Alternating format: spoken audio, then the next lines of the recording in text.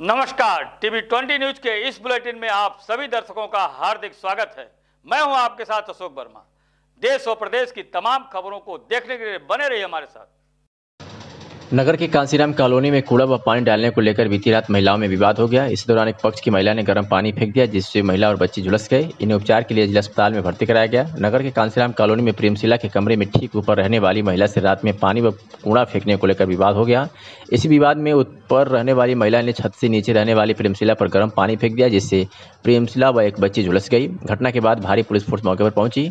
Police अधीक्षक सुधीर कुमार सिंह ने बताया कि इस मामले में मुकदमा दर्ज कर कार्रवाई की जा रही है। क्या कुछ कहा एस पी आजमगढ़ ने आपको सुनवाते हैं।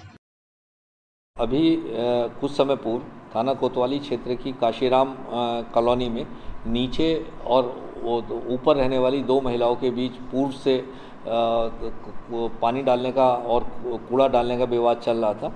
उसमें आज प्रेमशिला नाम की महिला जो कि निचले तल पर रहती है, उसके ऊपर ऊपर रहने वाली एक महिला और उसकी बच्ची के द्वारा जैसा कि आरोप लगाया गया है, गर्म पानी फेंक दिया गया, जिससे उसकी कमर और कंधे पे थोड़ा सा गर्म पानी से जली है वो, उसे हॉस्पिटल ले जाया गया तो उसकी हालत स्थिर है।